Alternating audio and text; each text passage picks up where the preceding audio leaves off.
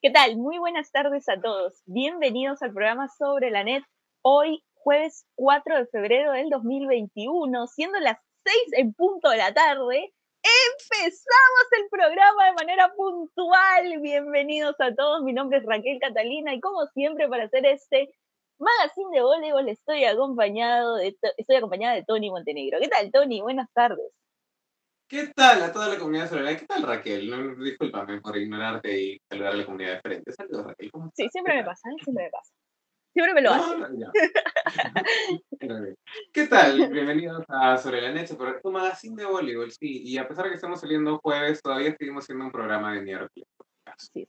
Así que Vamos a hablar hoy día bastante de voleibol. Ha estado muy movida la semana. Acá en Perú no tanto por lo deportivo, sino por lo fuera de deporte, pero sí ha habido mucho voleibol internacional en el mundo. Así que vamos a estar evaluando todo eso. Muchísimas gracias a todas las personas que ya están conectadas con nosotros, a Luis Ricardo, a César Razuri, a Dicciño. Estoy practicando un nuevo ángulo de cámara, así que me veo un poco incómodo, a Miguel Ángel a Úrsula Castillo, que nos dice puntualísimo. es cierto, reconozcamos hoy día, 4 de febrero del 2021, día 327 de la cuarentena,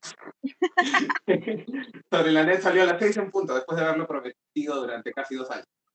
Sí, era, eh, este, el, el, que pasa es que el programa pasado salimos muy tarde, entonces hoy queríamos compensar un poco, ¿no? Queríamos retomar el camino de la puntualidad. Sí, porque si no, estamos muertos en realidad, la puntualidad es todavía. Pero ya, eh, saludos a Diego, a Jimmy Angulo, a Gerardo Guarderas, que dice, Raquelita, regresé. ¿De dónde, Gerardo? Eh, creo que a, la transmisión en vivo de repente, ¿no? Pero, pero si ha venido de algún otro lado, lo envidio, ¿eh? Lo envidio. Porque yo voy de, del baño a mi cuarto, de mi cuarto a la cocina, de la cocina, de la cocina a la sala. A, ver si hay algo en el refri, etc.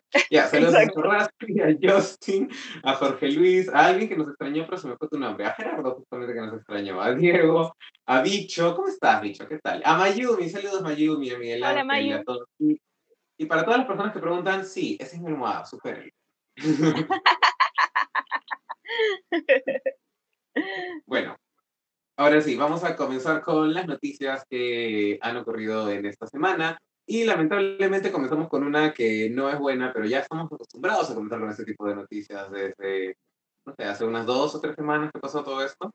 Y es que, eh, bueno, lo que ya sabemos que ha venido pasando con el IPD, que no se le ha dado eh, la aprobación a la Liga Nacional Superior de Voleibol para poder regresar. Una aprobación que si bien es una opinión del IPD, es una opinión sin la que no se puede avanzar.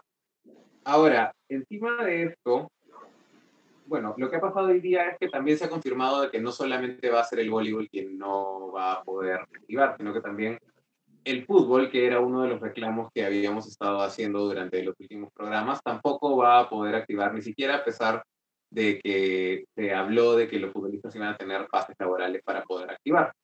Y esto ha generado la indignación de, lógicamente, fanáticos del voleibol, de los clubes, de todos los stakeholders y, muy importante, de las jugadoras, que son las que realmente tienen que trabajar aquí en la Liga Nacional Superior de Voleibol, porque es su chamba. Jugar, es su chamba, son deportistas. Entonces, ha nacido la, no, sé si es una asociación o un conjunto, pero se llama DBP, Deportistas del Voleibol Peruano, que creo que es algo que ya hace mucho tiempo se necesitaba acá en el Perú. ¿no? Sí, Tony, lo venimos diciendo desde hace mucho tiempo que nadie iba a pelear, o sea, cuando nosotros hablábamos de todo lo que les pasaba a las jugadoras, de que no les pagaban, de que no les daban la carta, nosotros decíamos eh, que eran ellas las que tenían que pelear por sus derechos porque nadie más lo iba a hacer, ¿no? O sea, no podíamos hacerlo nosotros porque no nos incumbe, eh, esa es la verdad, o sea, suena duro, pero es la verdad, no nos incumbe, no, no es nuestro asunto. Eh, podemos difundirlo, sí, pero eh, digamos, es, digamos, pelearlo por ellas no, es una pelea de ellas. Los dirigentes no lo iban a hacer porque obviamente estas reglas favorecían a los dirigentes, que Otorongo no comió Otorongo, así que eran las jugadoras las que tenían que pelear por esto. Y finalmente se han unido, creo que primordialmente con el fin de poder jugar y espero que a futuro, eh, con el fin de cambiar ciertas normas en nuestro voleibol peruano, que de verdad que no les favorecen, y si ya no es por ellas, sino por las nuevas generaciones, ¿no? Claro, lo bueno de todo eso también es que, em, creo que desde hace mucho tiempo no hay una unión de jugadoras de todos los clubes, o sea, una representante de cada club, o al menos, porque hay más jugadoras dependiendo de cada club en el que están, y se juntaran todas para decir, oye, ya, ahora sí, ya, ya de verdad ya nos están, nos están, nos están dejando sin plan, nos están dejando sin nuestro sustento de vida. Las madres nos están dejando sin cómo alimentar a nuestros hijos. Entonces tenemos que hacer algo. Y pues ha nacido esta iniciativa de las jugadoras y ha nacido eh, inicialmente con una reunión de Zoom en la que se ven todas bien bonitas en realidad. Y, con un comunicado que ha perdón, con un comunicado que ha nacido de esta reunión de Zoom que mandan las jugadoras de la Liga Nacional Superior de Voleibol al público con el hashtag el volei no debe parar.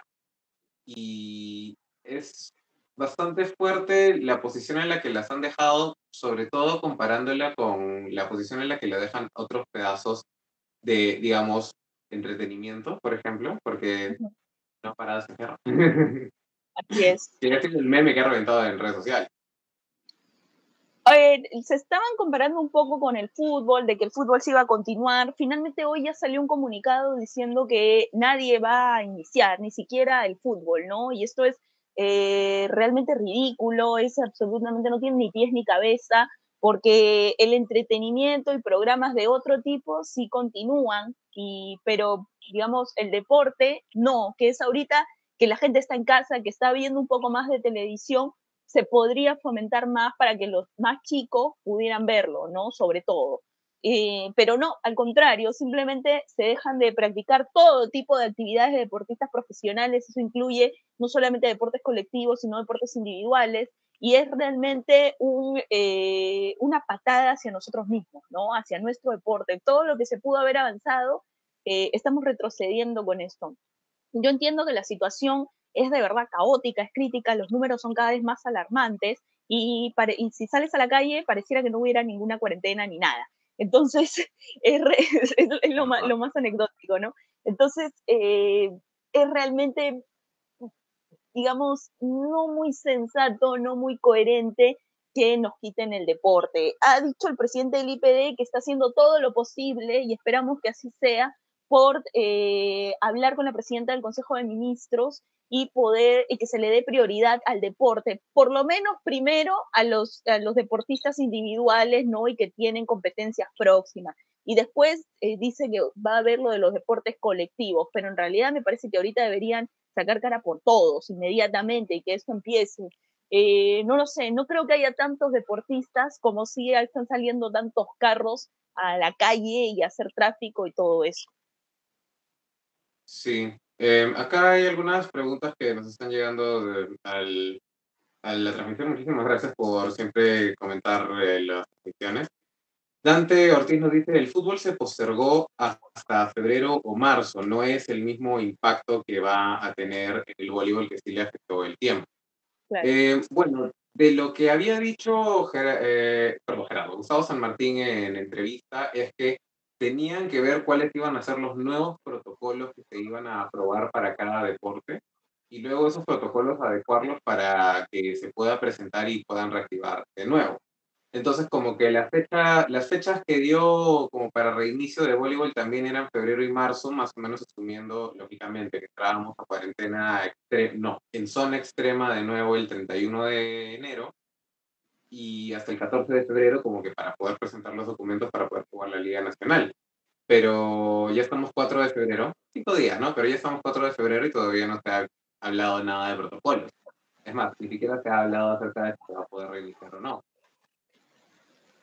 Eso es lo que más preocupa, porque en realidad pareciera que, si bien es cierto, nos dicen que están haciendo algo por el deporte, eh, digamos, pareciera que hubiera que presionar un poco más. Para empezar, no tuvimos que haber parado nunca, no tendríamos que estar luchando por esto, se debió continuar todo. Pero, digamos, ahorita eh, que ha visto toda la presión, el IPD intenta defender algo que debió defender desde un principio y no solo ahora, ¿no? O sea, mira, con esto ya no solo se están viendo afectados el vole, en otro plano también se están viendo afectadas las academias de, de o las academias de fútbol, o sea, yo entiendo que eso de repente sí pudo haber parado. Pero el deporte profesional no tiene ni pies ni cabeza, gente, no tiene sentido. esa es la verdad.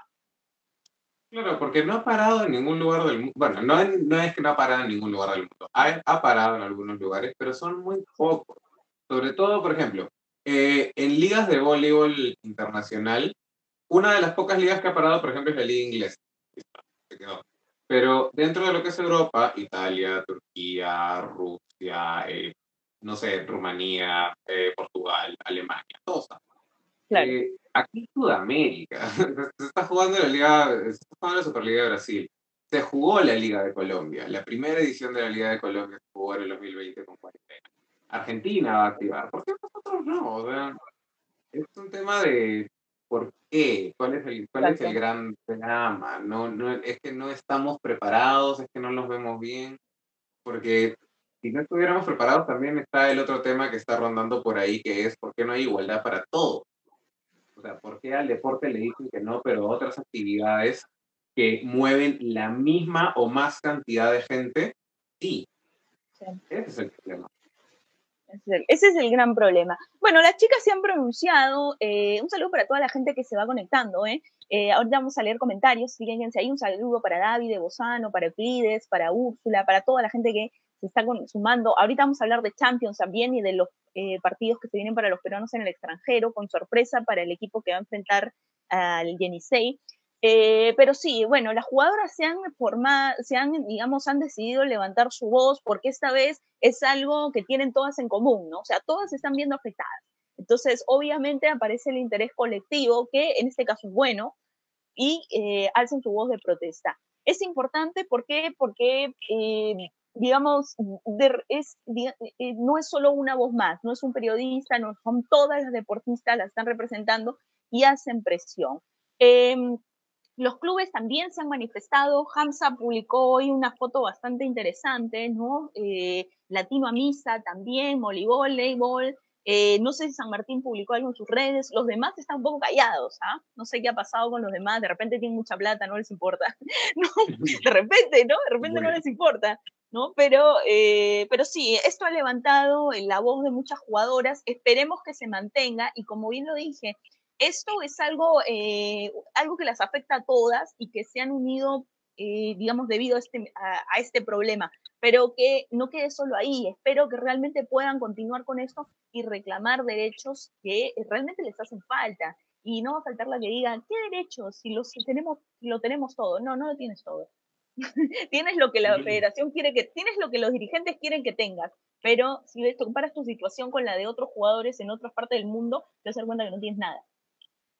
Sí, en realidad, o sea, eso también estaba pensando, qué bueno que se haya creado esta DBP, que no sé si mantenga el nombre, pero de todas maneras debería de mantenerse unas asistentes jugadoras para poder representar a las jugadoras, porque, a ver, de lo que hemos visto el año pasado con el proceso electoral, las jugadoras no tienen voz ni voto en esto. Votan las ligas que están formadas por clubes. Las jugadoras no tienen absolutamente nada de voto en quién es escogido al final como presidente. Eh, no solo eso, hemos visto muchas reglas que no le ayudan a las jugadoras a mantener su desarrollo deportivo dentro del país. Y una de las reglas más complicadas, por ejemplo, que tienen que luchar, las que tienen que luchar las jugadoras es el tema de la afiliación por dos años.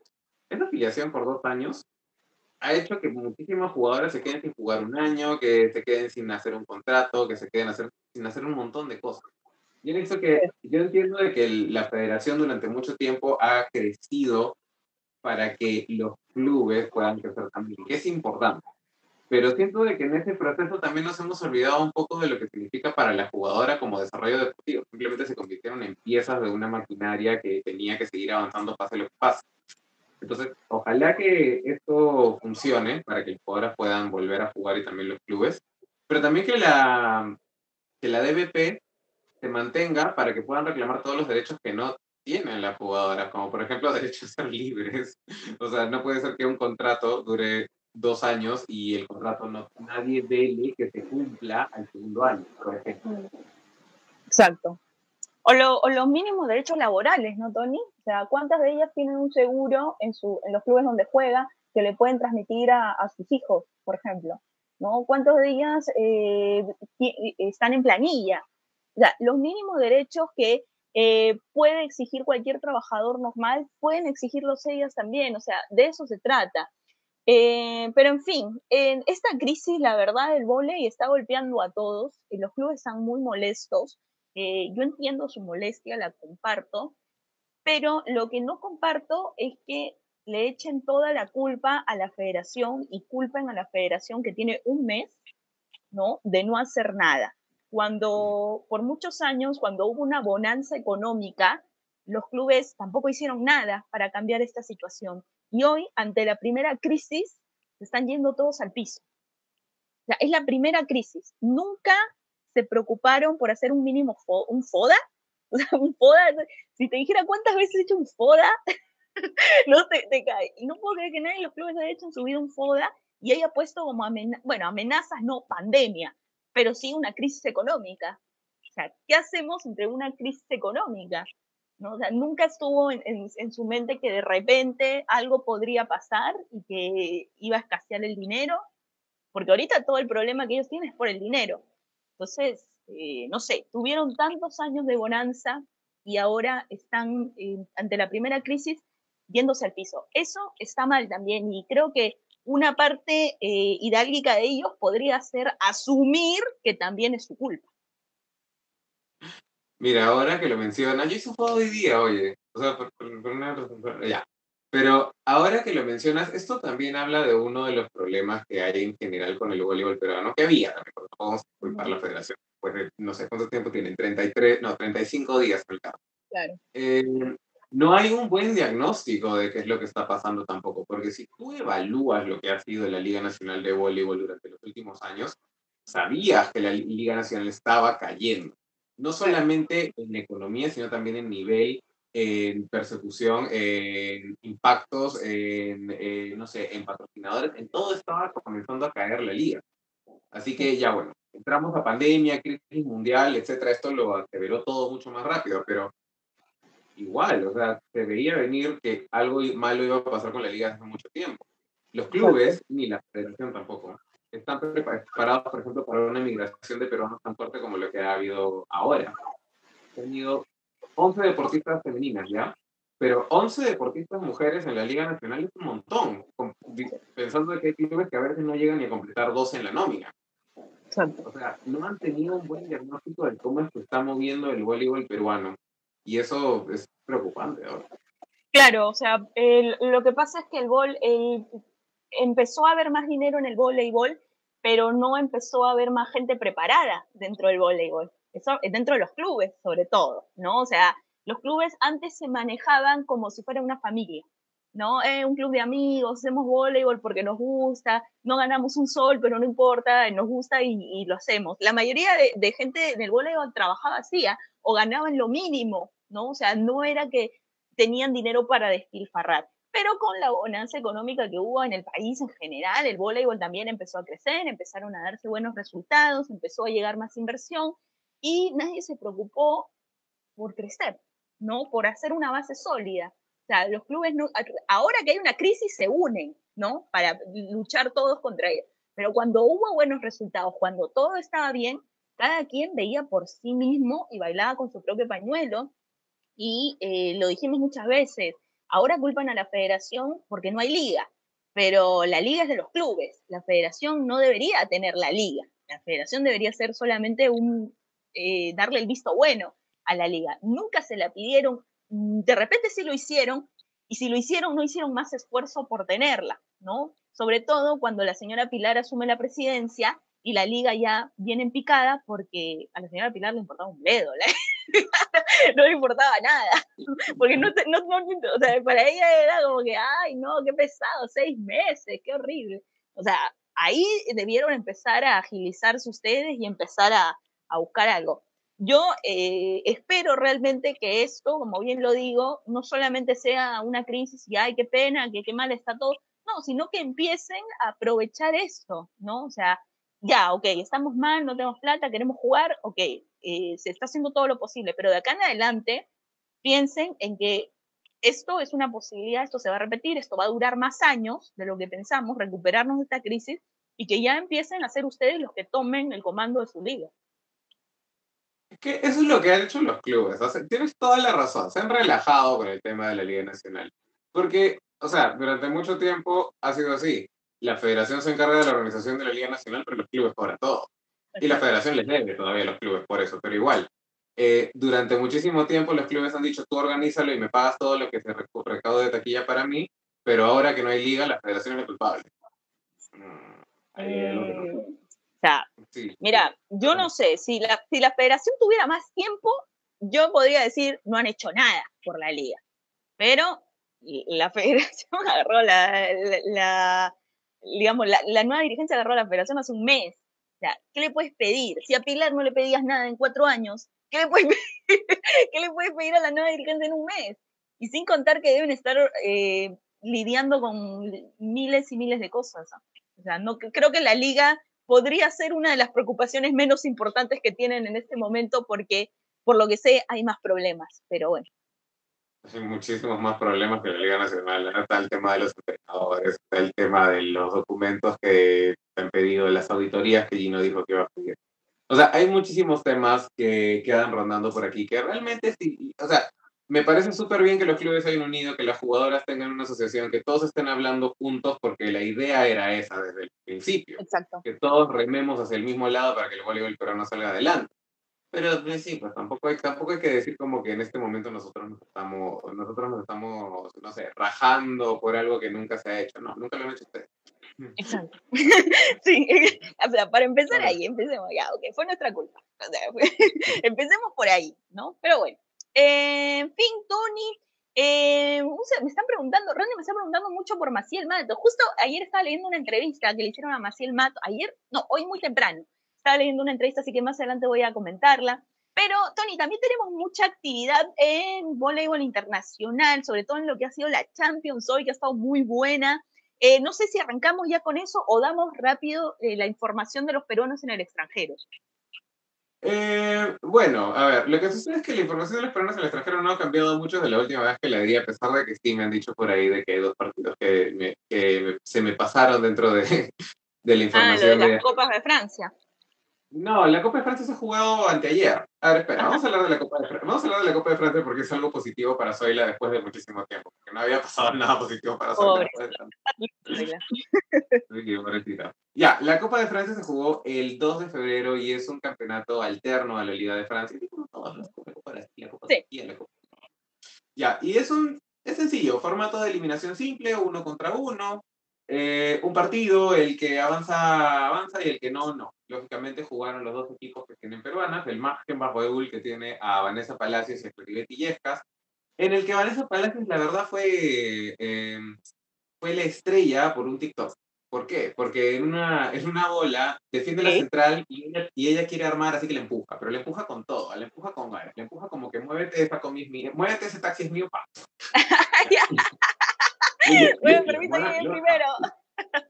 Escúchame, eso es respeto. ¿ah? Cuando un libro te empuja y te dice yo armo, yo respeto ese libro. Pero bueno, lamentablemente perdieron. No pudieron contra el equipo del el Paris Saint-Cloud. Perdieron por 3 a 1 y quedaron eliminados. Lamentablemente. Ellos, el equipo de Choco y Clary todavía sigue estando mejor en la liga francesa que el equipo de Soy, así que les va bien. Pero lo bueno es que el equipo de Soy al fin ganó. Mira, le va súper mal en la liga, pero le va bien en la Copa Francia. Hay cosas que no tienen sentido en esta vida. Hay cosas que no tienen sentido, como la cantidad de cojas que arma el equipo de Zoila, pero no importa. Y no me refiero a cojas de personas, cojas de la jugada, slide, caminada, china o la bola que quieran. Sí, tengo palitos de batida. Eh, pero ya, ganó por 3 a 2 contra el Pays Days Benels. Lo siento si pronuncia eso. Carly, si sé que estás por ahí, me puedes ayudar. Eh, y es el único equipo que todavía no sabe contra quién va a jugar los cuartos de final porque no se jugó uno de los partidos. Falta jugar el partido del el Nancy contra el San Rafael, que se ha reprogramado para el 24 de febrero. Una vez que se juegue ese partido, vamos a ver cuál es el rival de Zoila para la siguiente fase de la Copa de Francia, que todavía es en marzo, ¿ah? es el 13 de marzo, así que... Ah, como la Copa Italia, se va a jugar en marzo. Sí, o sea, dejémoslo ahí y volvamos a la, a la Liga Francesa durante un tiempo. Pero bueno, ya, Zoila se encontró con el triunfo de nuevo y fue en un torneo de eliminación simple, así que vamos a ver. Así es. Bueno, Tony, yo tengo una información rápida que dar con respecto al, equipo de Ángela Leiva, el Yenisei, y es que, eh, bueno, ganó para empezar su partido contra el equipo del Minsk 3-0. Ángela no, no fue No sabemos exactamente por qué, porque por tema de visa no debería ser, ¿ah? porque lo vimos con Tony, eh, Bielorrusia no pide visa a las peruanas, debe haber sido por otro problema. Eh, pero bueno, ya supongo que el club lo aclarará. Pero con respecto a su próximo rival, que era el IPET, Tony, si no me equivoco, o era el Sparta. No, con el Sparta ya jugó. El IPET. ¿No es cierto? No lo sé, pero si me das 10 segundos le voy a ver. Sí, no, es el IPET. Yo recuerdo que era el IPET. Perdón, lo que pasa es que tengo todos los partidos en la cabeza y se me confunden. Pero sí, si no me equivoco, es el IPET. Bueno, eh, hay una nueva incorporación en el IPET y es que, eh, para, no sé si es gracia, porque la verdad es que viene una para muy larga. Natalia Malik, opuesta de la selección rusa, algunos la recordarán porque, bueno, estuvo, tuvo una temporada buena con la selección eh, nacional en la época de Marichev, incluso un poco después, y también fue la opuesta de Rusia en el Mundial del 2011 que se jugó aquí. Yo tengo una foto con Malik, ¿ah? Esa, esa, esa, la foto con Malik. Pero bueno, eh, se ha incorporado... recordada como la contadora de fotos del Mundial del 2011 tengo fotos con todas las del Mundial 2011. No hay una que no se me escapó. Iba, dormía fuera del hotel. Era una cosa seria yo.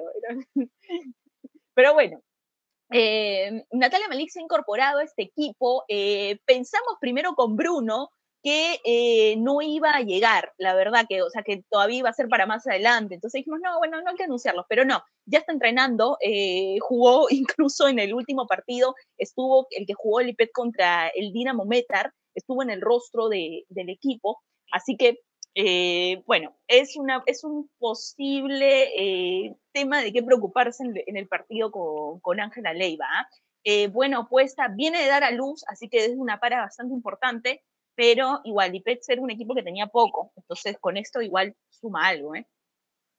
Sí, ahora, el es un equipo que está por encima del Yenisei en la tabla, está sexto en este momento, tiene eh, nueve victorias contra siete del Yenisei, que es el criterio número uno dentro de la Liga Rusa, y de la Superliga Rusa, perdón, y tiene 30 puntos contra 23 del Yenisei, así que em, en realidad ganar este partido para el Yenisei sería súper importante por dos razones. La primera porque seguiría manteniendo el invicto desde que llegó Ángela Leiva, lo cual es súper importante para nosotros. y la segunda, bueno, en realidad por tres razones. La segunda, porque el club de fans de Frolova en Perú estaría muy feliz. Y el club de fans de Frolova es cosa seria. no, no se ve yo, yo te voy a demandar mi voz de protesta. ¿Cómo es posible que haya un grupo de WhatsApp de fans de Frolova y yo no esté en ese grupo? O sea, ¿cómo? porque me siento excluida, no me quieren, la comunidad no me quiere, no me quieren los grupos. Yo también me enteré hace dos días y me he divertido tanto por eso, pero ya. Eh, bueno, Natalia, Natalia Malik yo lo recuerdo, del 2011, y también la recuerdo de alguna temporada con Rusia. Claro, ella estuvo en, en, la época del más o menos recambio que quiso hacer Marichef, ella estuvo eh, con el equipo. Después ella estuvo también después de Marichef, pero el que debe tener mejor ese dato es Bruno. Yo la verdad es que eh, miro a Star miro. pero así es.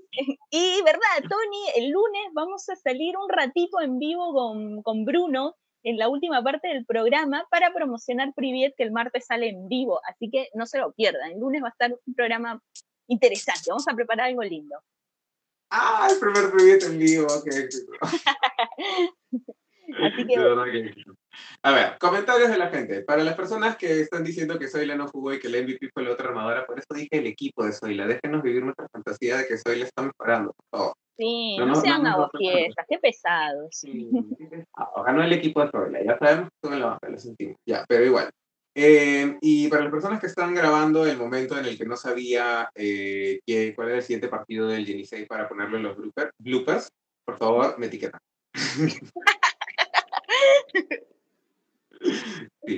Eh, no sé si queda más información acerca de los peruanos en el extranjero. Como la vez pasada, vamos a poner una, una imagen en Facebook con todos los partidos y los links, que me parece que ayudó a bastantes personas, a pesar de que ustedes nos dan los links a nosotros, pero igual. Eh, así que no se preocupen para tener todos los partidos registrados, que ahora todos juegan el 6. Todo, todo, sí. todo. Excepto Eduardo, que juega el 10, pero ya, bueno, la Liga de Austria se maneja de otra manera, aparentemente. Pero bueno, bueno, entonces estén muy atentos a la página, vamos a estar poniendo los partidos, si no hay transmisión en vivo, el live score para que lo sigan, si no hay nada, eh, bueno, mala suerte. Sí, lo vemos por Twitter, o por Sofa, no sé. bueno, Tony, tenemos información de Champions, hemos vivido tres días, eh, la verdad es que hemos estado insoportables. Oye, sí, de verdad. Hemos estado insoportables, las notificaciones de YouTube me llovían a cada rato. Eh, por primera vez en mucho tiempo vi un partido de la Champions en Marca Claro y déjame decirte que me encanta cómo la gente de Marca Claro pronuncia, pronuncia Exasivas. Exasivasi. Al menos no le dicen el cachivachi, como mi amigo Iván Tuesta, que le mando saludos.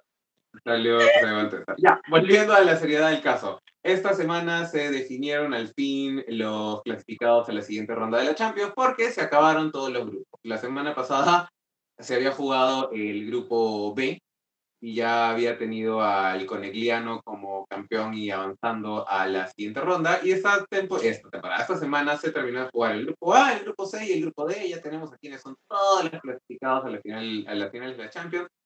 Y una de las cosas que más me parecieron eh, entretenidas es que están divididos en tres países nomás. Sí, el que ha hecho su póker ha sido Italia, que ha metido a todos sus equipos dentro de, de la fase de definición de la Champions League, dentro de, de los cuartos de final. Y Moco Voley, Conegliano y Bakisban, eh, bueno, lo voy a decir todos mejor. El Conegliano, Bakisban, Exasibachi, Novara, Sabino Belben Candiche, el, el Chemic Police, el Unendo Yamamar Busto Artizio y el Fenerbahce son los ocho equipos clasificados a esta etapa definitoria. ¿Quiénes quedaron en la puerta del horno? Bueno, ni tan puerta del horno. Fueron el Dinamo de Moscú, que no pudo vencer a Alexa Sibachi en este, en este último partido, que si lo si vencía le, alcanzaba, me parece. ¿ah? Pero bueno, no le pudo ganar. Sí, le alcanzaba. Eh, y el otro que quedó fuera fue el lot de Polonia, que también hoy, eh, digamos, tampoco pudo hacer mucho y, lamentablemente no, no le alcanzó. Lamentablemente, bueno, no sé si lamentablemente, porque tampoco es que me duela que no le haya alcanzado, pero no llegó, ¿no?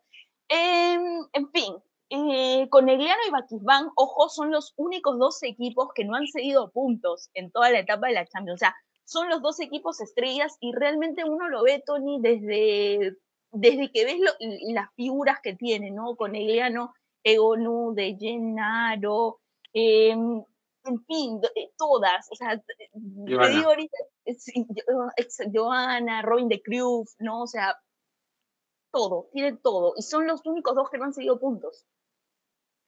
Sí, ha sido, a ver, una pregunta para todas las personas que están ahí en la transmisión. ¿Cuál creen que fue el mejor partido de la semana para ustedes? A ver, vayan comentando. bueno, yo, yo, el partido de hoy día me pareció muy entretenido en realidad, entre el equipo de Estefan Antiga, el Resovia. El Resovia, el del grupo A, sí. Y el Resovia contra el equipo de Esticia. Oye, qué, buen partido. Pero no sé, Sí, pero no sé si fue el mejor de la, de la semana. Por eso, ¿cuál, ¿cuál creen ustedes que fue el mejor de la semana para comentar? Y ya, em, una de las cosas interesantes es que el voleibol, bueno, no el voleibol, eh, la Champions se va a definir entre tres países. Se metió cinco, así que de todas maneras va a tener presencia de alguna manera en las finales. Eh, Turquía, que bueno, es, otra, es la otra liga que siempre pinta por ahí, y Polonia. Creo que, eh, digamos, ¿sabes qué es lo frustrante para mí? Que se haya metido Polonia y haya quedado fuera Rusia. Sea, eso e, es, algo muy fuerte, es un golpe muy duro que Rusia haya perdido a sus tres equipos en la fase de grupos. O sea, eso está fuera de libreto totalmente. Pero en defensa de eh, una centralidad, vamos a decirlo así, eh, qué bien está jugando el Kenny Police, Sonia. Qué bien está jugando. Sí, está jugando muy bien. Eh, los dos equipos polacos en realidad me parece que han estado jugando muy bien. No, no, no, o sea, no pensé, digamos, el Chemic Police sí, ya, porque dentro de todo siempre se ha metido en esta etapa. Pero no esperé ver dos equipos polacos, yo también esperaba ver un equipo ruso. Y uno de los comentarios más, más comentados, disculpen la redundancia aquí en, eh, en los comentarios, es que dice Raquel que no hay equipos rusos en cuartos de final. Sí. Si te digo lo que pienso, eh, nos bajan el programa. si te digo qué palabra se me viene ahorita o qué palabra le escribí a todos los que me dijeron perdió el Kazán, los que tuvieron la, la tinada idea de decirme, Raquel perdió el Kazán, como si yo no tuviera tele, no hubiera visto el partido, no tuviera internet, ¿no? O sea, cuando pierda el Kazán, no me lo digan, no me escriban, no me comenten, no me hablen, no me hablen. Cuando, cuando juega el Kazán, todos en Sobre la Net nos paralizamos. todos, todos, pase lo que pase, no se puede hablar de nada, no se puede pensar en nada más que en eso. Pero ya, lo que sí me sorprendió ese día para todas las personas que están hablando de Tijana Bosco, sí, Tijana jugó sí. hoy día. O sea, ya llegó un punto en el que, por, por, no hablar del espectacular ataque y del espectacular bloqueo, llegó un punto en el que defendió una bola con el pie y yo dije, ya, pues ya, ya no. O sea, ya. como que fallen algo, por favor. Hagan algo. Tony, mira, Tijana Boskovic es la verdad una jugadora de otro nivel. Yo estuve viendo, no pude ver ese partido, te voy a ser sincera, porque me olvidé. me olvidé del partido, me levanté, me puse a hacer otras cosas. Es que me la gente no lo sabe, pero me levanté con un, con un tema con el oído que soy insoportable cuando tengo algo en el oído. No sé qué tengo en el oído. Si conozco un otorrino, me avisan, pero tengo algo en el oído y nadie me cree, nadie me hace caso. Entonces estuve con todo eso y, y, este, y Tony me dice, ay, qué pesada Tiana y que no sé qué. Y yo corriendo a ver el partido, no, pero ya acabó el partido. Ay, qué bronca que me dio. Pero bueno, estuve viendo un poco de los highlights de ese encuentro y sí, es inapelable. Tony Tijana Boskovic eh, es una jugadora de, de, otro nivel. Lo que vi también en los partidos previos, lo que hizo con, con el Kaliningrad, lo que hizo también con, con, el, con el Stuttgart también, o sea, es una máquina, o sea, no hay otra palabra que la defina. Sí, qué buena época. O sea, yo sé que ha habido épocas de opuestas muy interesantes, pero en este momento estamos viviendo una época de opuestas, sobre todo en el voleibol europeo, es buena. O sea, tenemos a Egonu, tenemos a Tijana, está Isabela Hag, está Melissa Vargas, a pesar de que, tiene, que tenga sus atractores. Está, es, hay una gran cantidad, esta esticia que a mí me encanta. Hay una gran cantidad de opuestas que están dando mucho de qué hablar en este Champions, sobre todo. Y bueno, a ver, algunos de los comentarios. Y Carlos Briseño dice que lo digas en ruso, pero nos ven gente de Rusia y después nos bajan la transmisión por eso. No, yo respeto mucho a Putin, por favor. A Uber Villalobos dice, me encantó lo de Racing. Hoy está volviendo su juego de antes y va a luchar por un cupo en Serbia, con Popov. Bueno, Racing para mí es una de las mejores centrales que ha pasado por el voleibol. O sea, sí. tiene los fundamentos exactos para ser central. Tiene el centro, tiene el ataque al centro perfecto, tiene el bloqueo bien marcado. O sea, porque está en Serbia, yo no siento que es la central más alta del mundo. Pero, Exacto. Pero, ajá, pero porque está en Serbia, tú ves en las dos esquinas que están más altas que ella, pero igual ella está ahí en todas. Así que a mí me parece que es una de las mejores centrales que ha pasado. ¿Sabes qué me, qué me dio risa también? Que, o sea, tú me lo dices, eh, es una de las mejores centrales de, del mundo. Una persona una vez me dijo, Racing es una de las mejores centrales que ha tenido Serbia en su historia. Y yo le digo, le digo, pero si dices eso, es tan corto. ¿Cuántos años tiene Serbia como país independiente? O sea, sin ser Serbia y Montenegro. O sea, al Mundial del 2006 fueron como Serbia y Montenegro. O sea, estamos hablando que no tienen ni 20 años como Serbia y Montenegro, como solo Serbia. Entonces, decir Racing es la mejor central de la historia de Serbia, no, Racing es una de las mejores centrales del mundo. O sea, o sea es, es, increíble, es otro lote. Claro, Serbia no tiene tanto tiempo, pues. O sea, yo recuerdo que en el Mundial del 2006 Serbia era el equipo, Serbia y Montenegro era el equipo revelación. Es más, no se podía creer en ese momento. Yo recuerdo que había peruanos que se molestaron por esto, porque Perú había perdido contra Serbia y Montenegro. Estaban indignadísimos, que no sabían quién era Serbia y Montenegro. Ya, pues, eh, 15 años después, no, ¿cuándo, ganaron el Mundial? Y en esa época Francosevich era jovencísima, jovencísima. ¿Tú has visto los videos de Francosevich en esa época? Sí, sí para, Mira, para mí uno de los videos más divertidos para ver cuando quiero ver voleibol peruano es el partido del 2006 entre Perú y Serbia. ¿Por qué? Porque Milagros Moy decidió golpearle la cara a todos.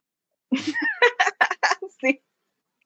O sea, yo sé que es uno de los de las, estos de YouTube más vistos, pero Milagros Moy pegándole la cara a las rusas de alguna manera me da una pequeña satisfacción en la vida que necesito a veces cuando, cuando estoy un poco deprimido. Pero sí, Tony, eh, en líneas generales eh, es, fue un buen partido. Mira, acá Humberto Villahuel me pone que Racing ha venido una para larga, es cierto. No estaba jugando en la liga turca eh, con el Bakikban y era la verdad que no era lo mismo ver al Bakikban sin ella. Por más que Popovic hacía un buen papel, eh, no, no era la, digamos, la mejor, digamos, no era lo mismo verla. Sí, a ver, acá está comentando la gente justo de lo que estamos hablando. Villalobos, allá, ah, Mayo Gabriel nos dice, en el mismo año, en el 2006, ganaron la medalla de bronce. Sí, pues fueron el equipo revelación, fueron, fueron, el equipazo de revelación en esa época. Y para todos los que quieran verlo de nuevo, por si acaso, que lo están viendo, porque ahí Miguel Ángel está poniendo el link, no, no el link, sino el esto de Mila juega mata gente. Vean el último set. Perú ganó ese partido nos lo robaron en el punto 20, 21-20, pero iba a ganar. Tony, por favor, no empieces un debate, te lo pido, por favor. O sea, por favor. Pero Ojenovich pisa, la línea del otro lado, es más, pisa milagros. O sea, ya. Cosas, que no, cosas que uno no puede dejar ir, ¿no? 15 años después todavía sido afectado por el hecho de que Perú perdió ese partido. Pero bueno, eh, en, el otro partido, Tony, que querías comentar que nos hemos quedado hablando de Racing un ratazo. Sí, lo siento. A ver, ya, eh, de los partidos de la semana, ya no nos dijeron cuál era el partido más que les parece más entretenido. Creo que a la gente le cuesta, le cuesta un poco decidir, le cuesta un poco decidir. Perdón, eh, con lo que me he quedado, espera, dije, eh, comenté algo del Bakisman con Popovic, no, no me refería a Popovic, me refería a Gunes, solamente que el eh, puso Popovic y me la confundió, pero no, quería referirme a Gunes. sí, a, sí, a la central de Tur a la central turca. Ah, te confundiste con el comentario que decía que va a pelear con Popovic él está en Serbia. Sí, se me confundieron los nombres, no, me refería a Gunes, perdón, se me quedé, me quedé con eso, me distraje. Sí, a ver, eh, ¿cuándo va a ser la siguiente ronda de la Champions? Todavía falta. Yo tengo acá el dato de eso. Eh, va a haber un sorteo, a ver, lo voy a explicar rápidamente. Va a haber un sorteo el día viernes 12 de febrero, así que apúntenlo. La hora no la sé todavía, supongo que va a ser a las 5 de la mañana, como fue el sorteo de la Champions League en la primera ronda. Eh, ¿Quiénes son los cabezas de serie de esta ronda? Imoco Gole Conegliano, Bakisban, Exasibachi y Novara. Son los cuatro. ¿Por qué? Porque son, digamos, de todos ellos, como que los mejores, los cuatro mejores primeros. Ellos son las cuatro cabezas de serie. Entre ellos no se van a enfrentar. Al sorteo van a entrar los otros equipos. Sabino el Ben Escandiche, el Kenny Police, el Unendo Yamamay Busto Artizio y el Fenerbahce. Esos cuatro entran a sorteo para saber qué rival de estas cuatro cabezas de serie le va a tocar a cada uno. El sorteo va a ser el día viernes 12 de febrero y está programado que esta etapa de cuartos de final se juegue en playoff, así como siempre se ha jugado la Champions League. Partidos de ida y vuelta y en caso haya igualdad de victorias se va a jugar un, este, un set de oro, que en la CEF normalmente es hasta 15 puntos. Eh, bueno, van a comenzar a jugar el 23 de febrero, que coincidentemente es el mismo día que se hace el sorteo de la Liga Americana, de la Liga de Africa Unlimited. Ah, mira. Sí, vamos a estar sobrecargados de este día. Sí, vamos a estar sobrecargados de voleibol internacional y a nadie le molesta eso, ¿eh? por favor, sigan, sigan con el voleibol internacional. Y con el voleibol nacional, oye, no, puede ser, no puede ser que en el internacional estemos... No, Tony, no, no quiero, yo no quiero saber nada, no quiero que empiece la liga. Mentira. Bueno, a ver, Cristian Barragán nos dice que el mejor partido fue el Vitre Stuttgart. El Vitre con el sí, fue un partidazo, ¿ah? Es muy cierto. No sé por qué al, al excesiva, el Excesivachi le cuesta tanto jugar con el Stuttgart, porque la primera ronda también fue bien peleado, bien peleado. Oye, a mí el Stuttgart me sorprendió. ¿ah? La verdad es que cuando lo vi dentro de los nombres que estaban, no, no es que lo descartara, pero dije, a yo sé que no, pero a mitad que sorprendió. A ver, digamos, Carlos Briceño dice Exasibachi contra el Dinamo de Moscú. Y Gianfranco dice el Novara contra el Chemi. El Novara contra el... ¿Cómo le gusta a Gianfranco el Kevin, no? Le encanta y que le encanta el Kevin. Eh, bueno, Marcela Gualpamaita nos dice el Dinamo de Moscú contra el Exasibachi. Es que fue un muy buen partido. ¿ah? Oye, ¿te das cuenta que, que, los rusos no están, pero ya hay varios que los mencionan? El Dinamo Moscú, Exasibachi, el Dinamo... Ah, ah, ya ven, gente, es una, es una, es una pérdida que no estén los equipos rusos. Sí, a ver, bueno. Eh, sí, mira, porque Antoinette Nicole Chávez dice Novara versus Kazán, los tres primeros sets. A mí también me gustó ese. Yo también iba a comentar ese. Estamos conectadas, con Antoine, ¿eh? Yo también iba a comentar ese, Tony. fue un partido que, que, me gustó mucho. O sea, eh, más allá de que sea hincha del Kazán, que sí lo soy, siempre lo digo, eh, me parece que fue un partido que lo tuvo todo. O sea, todo. O sea, en contexto de voleibol, el nivel fue muy bueno. O sea, ninguno, pese a que el Novara ganó 3-1, está bien, no lo discuto, eh, el nivel fue bueno de ambos equipos. O sea, no hubo como que un Novara le pasó por encima de casa. Sí, yo también creo lo mismo. O sea, a ver, a mí el partido que se me ha quedado fue el partido justo de hoy día por el primer set, el primer set que terminó 35-33, en el que ya no los... Ah, sí. o sea, sobre todo, no me imagino el nivel de estrés en el que tenía que estar eh, el que manejaba el challenge en el punto 31-30. ¿Qué tal? O sea, ¿Qué tal gana de molestar cuando estás 31-30 y quieres Pero bueno. A mí, eh, yo creo que se empezó a guardar un poco también el Sabino del Bene después, ¿ah? el escandiche, porque mira, sacó a Malinov y puso a, armar a Leticia Cámara también. Fue raro eso. No era como que normal. Y Pietrini, que tampoco había estado jugando todo este, este fin de semana tanto, empezó a, arrancó en este partido. Fue raro. Me encanta Pietrini, ¿eh? No, es más, yo soy una de, las fans de Pietrini. Me encanta esa rebeldía de no usar rodilleras.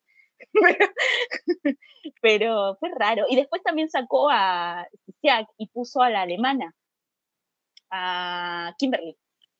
Entonces fue raro. Eh, es que, bueno, no, pero no, no estoy seguro tampoco de qué, de qué es lo que estaba haciendo. Sí, sí fue, raro, la verdad, no sé. A ver, eh, Carla Santos dice, Rivers 40 puntos contra el Vitra. Crystal, me encanta ese nombre, me encanta, me encanta que A mí también, de la sí, Crystal Rivers, sí. Sí, eh, a ver, Gianfranco sí, Gianfranco dice, jajaja, ja, ja", con carita triste, lo cual no, no, entiendo. Es que el Chemic me sorprendió. Mira, para mí el Chemic es uno de, los, es uno de mis equipos favoritos en realidad. Eh, sobre todo es que pasó por ahí abundante. sí, a mí, a mí particularmente me gusta porque está Brankosevic y Brankosevic siempre es una de mis jugadoras favoritas. Sí. Eh, Elmer Mantilla, para meter el dedo en la llaga, nos dice, ¿qué tal le fue al Dinamo de Moscú? bueno, le fue mal al Dinamo. Bueno, no, al final no le fue tan mala, o sea, quedó fuera por poquito. O sea, si le ganaba el Vitra, se metía. ¿Qué estaría difícil, no? Es fácil decirlo, pero ¿qué estaría difícil? Ganarle al Vitra si está Boskovic enchufada, es muy difícil. Ahora, también tuvieron una muy mala primera ronda. Recuperarse de eso fue bien difícil. Sí. bueno, no, no, primera ronda, sino ronda de ida con esto, pero ya esta segunda ronda la jugaron mejor. Yo creo que si hubiesen jugado la, eh, la primera ronda que jugaron esta, habrían pasado al menos como segundo. Sí. Pero ya recuperarse de haber tenido una tan mala actuación y de en, en, ese grupo en el que probablemente no iba a pasar el segundo porque estaba muy competitivo los tres puestos de abajo, Mm. Ya era Tenemos más comentarios, Tony. Hay algunos comentarios que me han gustado, por favor, ¿podrías leerlos? Para que no piensen que yo los selecciono. A ver, Marcela Guayamaita nos dice, Federat sí, tuvo una muy buena actuación. Y sí, dígase de cualquier torneo en el que está. Siempre, ídola. Dedicado esquina, las tengo acá. A ver, eh, este comentario no sé cómo lo vas a tomar, pero eh, asumo que bien. Humberto Villalobos dice, Seba jugó muy bien, no parece ser armadora rusa. Hay otro, hay, hay otro por ahí, Tony, léelos juntos, hay otro por ahí. Espera, el de más abajo y el de más arriba. hay uno arriba. contra el Chemi. A ver, para que no sea, para que no parezca. Uf, Star Seba se comió a la Hancock en la cancha. Se la devoró a la Hancock, no existía, Maika, no existe no existe, Michael, costado Starza, no existe, no es nada, no, mentira, me cae muy bien Hanko, me gusta como arma, eh, pero Starza la verdad es que se jugó un partidazo, un partidazo contra el Novara, como que se inspiró, no sé qué le pasó, le armó una bola a, a Samantha Fabri con una sola mano perfecta opuesta en el primer set, que si hubiera sido Luciano Echeco, esa bola, ya, ese video ya estaría en todas las redes, en todos lados, no, pero como no, como no es Luciano Checo armándole a, cualquiera de los que está ahí, eh, no está. Pero fue un, un super partido y en realidad Star se ha evolucionado bastante bien para ser armadora rusa. Es, es la verdad otro, otro lote. Y para los que critican a, ¿cómo se llama? A Romanova, ¿saben qué? Romanova es buena, es chiquita, necesita tiempo. Sepan esperar, gente, no sean desesperados. Oye, sí, la gente quiere, la gente quiere que las jugadoras lleguen a su pico de rendimiento a los 14 años, ¿no? Sí, están, mal de la cabeza, ¿no? La gente está mal de la cabeza. Pero bueno. El rendimiento de una jugadora puede ser a los 17, a los 18, a los 23, a los 30. Uno nunca sabe. Y ya, eh, Mario Gabriel dice que no lo ignoremos, así que lo vamos a ignorar. No, lo siento, ahorita. Ah, con respecto a lo de Estados Unidos, ¿pero qué? Ah, Tony, íbamos a hablar de lo de Estados Unidos también. Sí, de cómo funciona la Liga de Estados Unidos, no, la Liga no, de cómo funciona el Campeonato Universitario de Estados Unidos y resolver todas las preguntas frecuentes de por qué una jugadora aparece en un college y luego aparece en otra universidad. ya, mira, vamos a hacer algo. Voy a hacer una nota con respecto a esto, la voy a publicar y eh, porque creo que si lo leen va a ser un poco más entendible y eh, las dudas que tengan las, las resolvemos el lunes y todos felices. ¿Sabes qué, es lo, más interesante? Que yo creo que la gran mayoría de personas en este momento que están leyendo, que gracias por vernos, en este momento tenemos 100 personas conectadas, eh, probablemente saben más que, bueno, de todas maneras saben más que yo acerca de la Universidad de Estados Unidos. de todas maneras. Eh, me, sorprende, me, sorprende, la cantidad de información, no, no me sorprende en realidad, la cantidad de información que maneja las personas de la comunidad sobre la NET y que nos comparten, muchísimas gracias, es muy buena, muy grande. Sí, sobre todo de voleibol internacional, ¿eh? Está súper bueno eso. Se hace muy divertido ver voleibol internacional con todos. Muchísimas gracias por compartirlo con nosotros y dejarnos compartir con ustedes nuestras apreciaciones. Yes. Pero bueno. Escúchame, paren todo. Nos está viendo la tieta. un saludo para ella, un saludo para ti, tieta, un abrazo. Eh, acá Antoine también nos pone eh, que eh, sí, mi armadora favorita le ganó a la armadora favorita de Bruno. Es cierto, Bruno ha dicho muchas veces que a él le encanta Hancock. Así que Bruno, te gané. Oye, sí. Oye, Hancock, como que, como, como ella, ya como jugadora, cuando la vimos en la Copa Panamericana era un monstruo. A medida que se ha ido acoplando al voleibol internacional, sigue siendo una de las mejores jugadoras del voleibol internacional, pero ya no está monstruosa. Sí, y mira, yo te sincera, y de repente acá me voy a ganar muchos odios, ¿eh? A mí me gusta más Carlini, así, te lo digo, me gusta más Carlini, porque es una armadora eh, buena en, en, el equipo que, que tú le pongas, no en el Dinamo Moscú, ¿eh? pero es una armadora que te va a funcionar en cualquier equipo. No en el Dinamo Moscú, pero en la mayoría de equipos ella funciona. Eh, no sé, siempre me ha gustado. Y, la verdad es que, no sé, me parece que, todavía no, no explota todo su potencial. Que de repente, de repente nunca lo explota, pero la técnica que tiene, la verdad es que a mí me gusta mucho. Y cómo piensa, es, es otro lo que. Pero de todas maneras yo creo que ellas dos son las principales para ser las armadoras de Estados Unidos para Tokio 2020. ¿ah?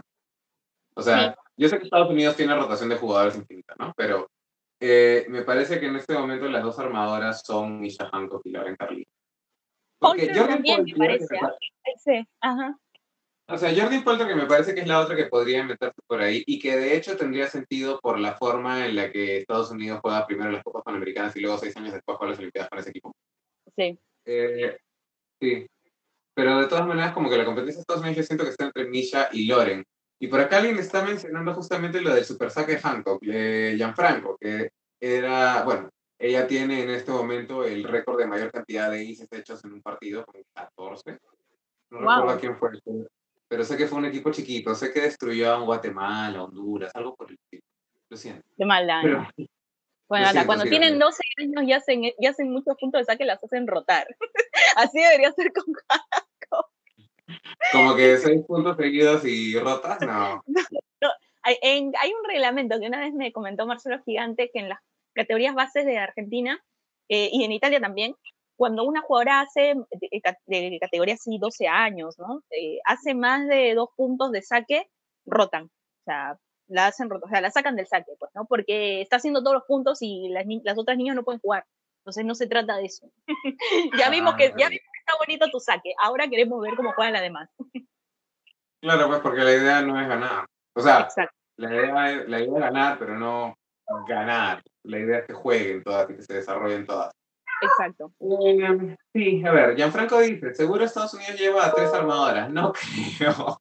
No, eso fue un, un disparo a, a, la cabeza que se hizo Karchirari en la última que llevó a las tres, a Thompson, a Lloyd y a Glass. Sí, que bueno, o sea, que, bueno, también era el tema, ¿no? De cuál de las tres iba a salir, pero la idea no era que fueran las tres. Porque al final no las usó. O sea, no. A Thompson no la usó. No...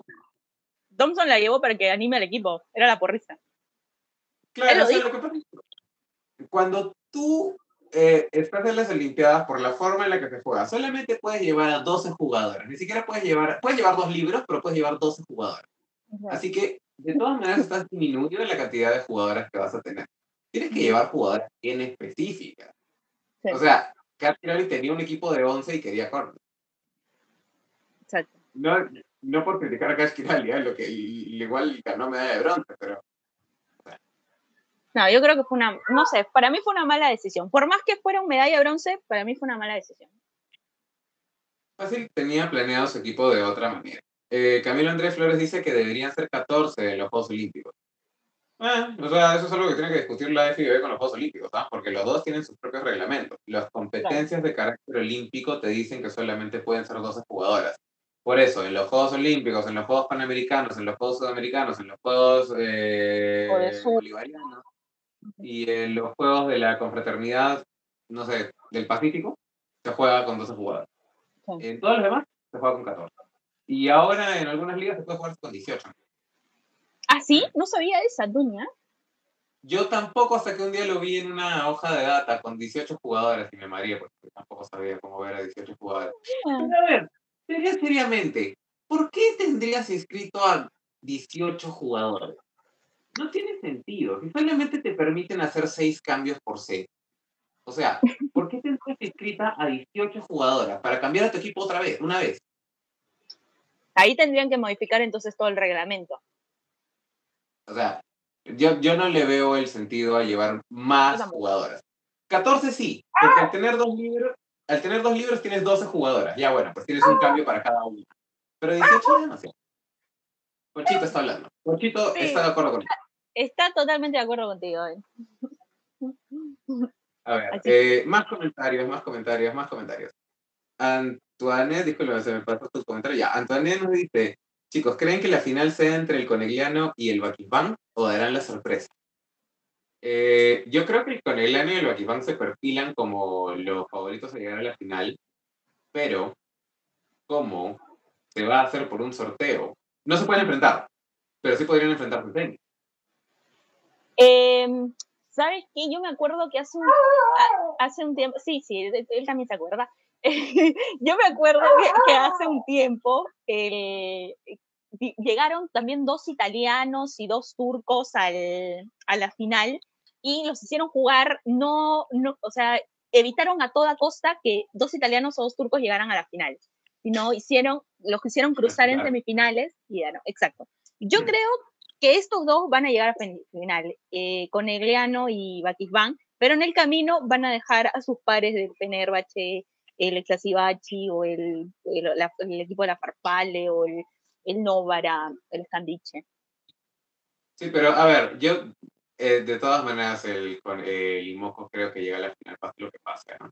Sí. De ahí, sí, no, el Batisban, el, el, sí te genera dudas que, todavía, ¿no? O sea, es por, es por Egonu. Ah, ok. es, es realmente por Egonu. Y por Joana, y por Mónica de Llenaro, y por todo el equipo, ¿no? Pero, o sea, el Bakifán como que yo lo veo ahí en la final porque es el equipo. Pero todavía no tiene esa individualidad que te diga como que, ah, se le van a ganar a todos. Pero sí, es el equipo que va a enfrentarse al final. Mira, lo que pasa es que, a ver, a mí me gusta mucho Gaby, pero no la veo tan bien tampoco. Después, eh, Michelle Barch, eh, la... Bar Barch es, ¿no? Barch. No, nunca, se... sí, nunca supe cómo se pronuncia, pero bueno, Barch no es una, no es una jugadora tampoco que la tenga tan, tan arriba. Eh, no sé, después las centrales, tampoco, o sea, Milena me encanta, pero tampoco es que viene jugando. Gunes me gusta mucho, pero si la comparo con Robin de Crew, eh, tampoco es que sea tan top, ¿no? O sea, es como, es como difícil pensar en, eh, en el equipo. Ya, si vamos a hablar de Maya, eh, es una armadora que también, si la comparo con Bolos, ahorita, Maya o Bolos, yo creo que Bolos, no sé, pero eh, es porque Maya ya está en otra época. O sea, no digo que esté vieja ni traspasada, sino que es una jugadora, ya no es la misma Maya, o sea, ya no es la misma. O sea, no sé cómo explicarlo. Maya era, eh, hace cuatro años Maya era otro lote, no, hace dos años, en el, hasta el Mundial 2018 Maya era otro lote. Eh, ahora no es que sea mala, pero ya no es esa jugadora, ¿entiendes? Sí, sí te entiendo. O sea, no es que haya, no es que haya bajado, pero em, antes lo que, lo que le pasó a Misha Hancock, pero un poquito más arriba. O sea, como que ya, ya no es el monstruo. Sigue siendo una buenísima jugadora, sigue siendo una de las mejores armadoras, sigue, sigue siendo una jugadora que se pondría en cualquier equipo, pero ya no es el monstruo que era. Entonces, como que, Em, a ver, todo el mundo está comentando que Conegliano es el único seguro. José Luis, Charlize, Camilo Andrés, eh, el que está seguro en la final es Conegliano. Y yo estoy de acuerdo. Y si, y si en cuarto de final lo eliminan, pues no creo. No, yo tampoco. Sí, no, yo la verdad es que no creo. Mira, además lo del Limoco eh, se refleja también en la, en la liga italiana. No ha perdido ni un partido, nadie lo ha obligado a jugar cinco sets. O sea, es como, este año podría campeonarlo todo. La Supercopa la campeonó también, si no me equivoco. Si no me falla la memoria, campeonó la Supercopa. Eh, seguramente es, es, el claro favorito para la Copa Italia que se viene ahorita. Y eh, la liga está arriba, o sea, no le gana a nadie, o sea, es, parece el equipo de ensueño. Y ya se confirmó, ay, verdad, eso también te lo voy a contar, ya se confirmó que De Gennaro no se mueve de Limoco, no se va a ningún lado, eh, y posiblemente es muy probable, ya lo dicen muchos medios italianos, que ni Egonu ni Sila se vayan, o sea, imagínate. está formando, va a quedar con... Y el, el Fenerbahce ya un poco más ya votó a medio equipo para traer a Egonu. Oye, Vijajlovic estaba en conversaciones con el Monza, ¿no? Sí, con un club italiano, sí. Rumores, por si acaso, ¿eh? cuando sea cosas confirmadas le decimos que son cosas confirmadas. Pero bueno. Bueno, a ver, eh, ¿podríamos seguir hablando de la Champions? Sí, pero creo que podemos hablar un poquito de la Copa C. Sí, la, eh, hay algo que sirve de la Copa C más que coche. Lo comentamos el lunes también, creo, Tony, ¿ah? pero si quieres lo volvemos a, a comentar con respecto al, femenino más que nada, que respecto, ah, para todos los que me dijeron que qué iba a hacer yo ahora sin un equipo, sin una Champions sin Rusia, bueno, les digo que me queda hasta este momento la Set Cup con el equipo de Tatiana Cocheleva, el Galatasaray, que sin duda alguna le va a ganar a ese equipo desconocido que nadie sabe quién es del Besier. Oye, ¿verdad? Cocheleva contra el es mucho. O sea, ya, cocheleado contra el City, cocheleado contra el por si acaso. Pero el, el Besiers tiene una opuesta que es muy buena, una francesa. Yo la he visto así de pasada, nada más, en algunos partidos, porque yo la Liga Francesa, no le miento, gente, no la sigo mucho, o sea, creo que se nota, no la sigo mucho, eh, pero la vi el otro día en, en ese partido contra el Targosibote, no me acuerdo cómo se llamaba el equipo, eh, y sí, la apuesta, la jugadora esta francesa me pareció bastante buena. Es más, me pareció la mejor de todas. ¿ah? Eh, no me acuerdo, Bruno sé que sabe, Bruno. Ya, pero a ver, em, lo interesante, por ejemplo, ya, como desarrollo de Argentina, ya, Bianca Farriol se va a enfrentar a Cocheleva. Bianca Farriol versus Cocheleva. Mm. Eh, bueno, bueno, bien. unas victorias que puede tener el equipo de, bueno, no el equipo, sino el desarrollo deportivo de las jugadoras. Sí. Pero bueno. Em, a ver, acá alguien pone, ¿creen que Gala, que Gala le podrá ganar a Monza? Tuvo racha de 15 partidos ganados, hasta le ganó 3-0 a Novara. Em, mm, la verdad es que no sé, no sé. ¡Acá está! Es estadounidense, Malina Terrell ah, es estadounidense, pero el apellido francés, Terrell, ¿no? Es francés, me suena como francés, ¿no? Ajá. Esa, ¿ves? Esa. suena como... pero muy buena. Para las personas que no saben, ahora trabajo comunicándome con muchas personas de Europa, así que por eso estoy ¿Verdad? Me había olvidado la noticia de Maciel Matos con Randy. Antes de salir de, Italia, la voy a comentar. Y es que, bueno, Maciel Matos llegó al Cuneo. Eh, voy a dar esta información y de paso voy a dar una información de la Liga Italiana y de un mensaje a toda la gente, eh, digamos, hinchas de Dominicana, hinchas de la Liga Italiana y creo que gente de voleibol en general, ¿no? Bueno, se presentó dijo que viene de la República Dominicana, que llegó a Cuneo y es la primera vez que está en Italia y que para ella jugar en Italia siempre ha sido su sueño y está más que feliz por estar ahí. Eh, le agradeció a todo el mundo y habló de sus expectativas, eh, que esperan ganar todo como sea posible en este campeonato y eh, ayudar todo lo que se puede. Y también opinó un poco de la ciudad, que es muy linda, que le gusta mucho a la gente, que le han hecho sentir como en casa. Y eh, bueno, el partido, el domingo tienen el partido contra el Conegliano, así que va a ser un buen partido para ver a, a Maciel, pero ¿sabes qué pasa, Tony? Que la liga italiana ya le faltan dos fechas nada más para acabar, dos semanas nada más para terminar en este mes de febrero, sí, acaba la última semana de febrero, y luego se va a jugar eh, en, la última, en la primera semana de marzo todos los partidos que han sido postergados debido a COVID. Así que eh, esa era un poco la información. Ya está acabando la primera ronda, de, digamos, la ronda de ida y vuelta de la liga italiana y estamos ya cerca de las finales.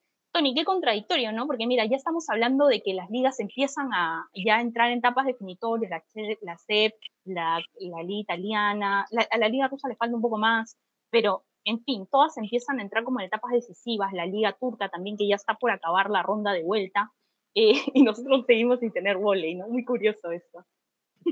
Mira, eh, es, que estamos hablando de que tenemos la fecha límite del 15 de abril, supuestamente, porque es lo que la Federación Internacional nos puso. Pero nosotros estamos corriendo con la fecha límite del 15 de abril porque no se hizo nada el año pasado. O sea, porque está abierta la temporada de clubes desde septiembre. Así que eh, que estemos en este momento luchando porque la Liga Nacional regrese en febrero o marzo es, no es un tema específico de este momento, es un tema que se pudo haber solucionado hace muchísimo tiempo. Ya, se hizo la Copa Nacional, se hizo todas las cosas, se retrasó, eh, no importa. Pero sí, es, es, es, es feo sentir que todo el mundo se está moviendo en una cosa específicamente, que es el deporte, y tu país no. Es frustrante, es cierto. es lo que no. Así que bueno. Bueno, Tony, voy a aprovechar para dar algunos partidos de la Liga Italiana de este fin de semana, rapidito, para todos los que están siguiéndola. Firenze contra el Chieri, el equipo donde juega Mayer. Bergamo contra ese, eh, perdón, el primer partido se juega el día 6. el día siguiente, el día 7, van a jugar el Bergamo contra el Brescia. El partido entre el Casamayor y la, y la Uniendo Yamamay Visto fue suspendido, así que no se va a jugar. Eh, juegan el Cuneo contra el Conegliano, por supuesto. Y el partido que dije que no se iba a jugar el Casa Mayor con el Yuba, se va a jugar el día 9, ¿no? Y de ahí ya solamente quedan dos fechas para acabar la, la, liga italiana. Así que antes de estos últimos días vamos a, a poder seguirlo un poco más. En ¿eh? unas cuantas fechas nada más. Quedan poquitos partidos. Increíble. qué, bueno que tengamos el voleibol internacional, porque si no, ¿cómo sobreviviríamos? Sí, yo solo estoy rogando que se juegue por lo menos la BNL, porque si no, no sé qué vamos a hacer, Tony. Nos tendremos que hablar de básquet o algo, no sé, algo que haya. Eh, sí, pero eh, la, la, BNL tenemos que ver si se va a poder jugar en el formato burbuja, qué país lo va a hacer. Rusia es candidato, no lo dije el otro día el lunes. Es candidato para, para albergar cualquiera de las dos, la femenina o la masculina.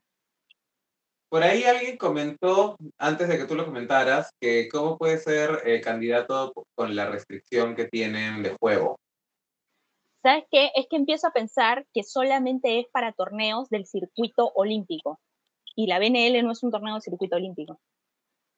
Porque tampoco hay ninguna, ningún plan de cancelar Rusia 2022. O de moverlo. Eso es cierto, porque mira, hasta ayer eh, salió una noticia de que el equipo de Rusia estaba entrenando en una ciudad ya que se llama Anapa, eh, que es un centro de alto rendimiento del voleibol. Se estaba preparando para el Mundial del 2022, los hombres al menos. Ya estaban como que algunos jugadores concentrados. Así que, y que se iba a jugar en Rusia. Esa era la, especificación. Es verdad, van a jugar los Juegos Olímpicos como atletas independientes. Así es. Pero bueno, eh, bueno, Tony, no sé si queda algo más por decir.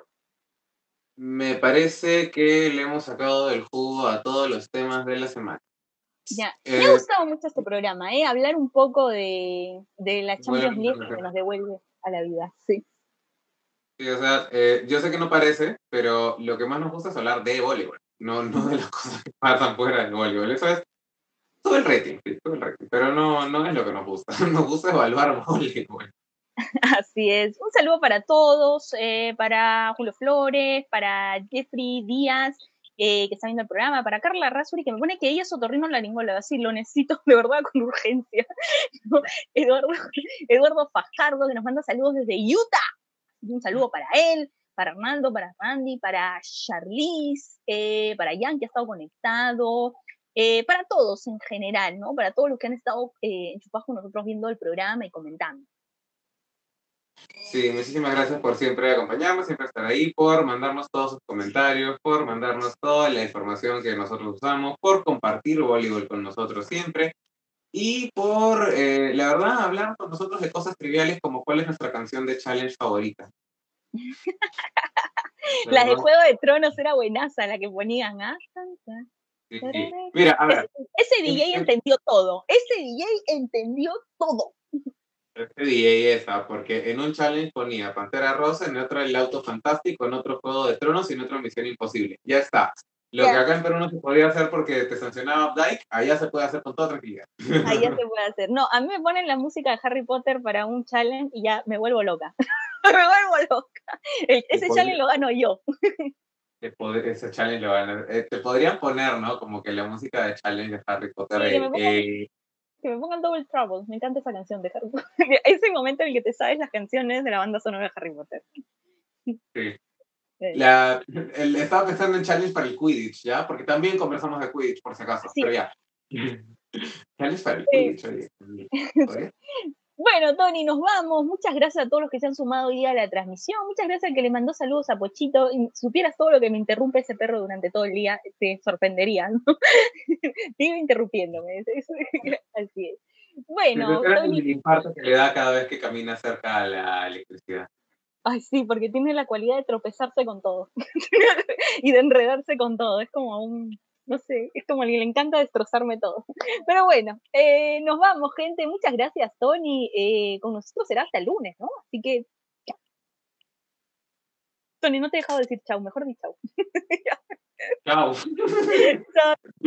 Saludos, saludos, chao, chao.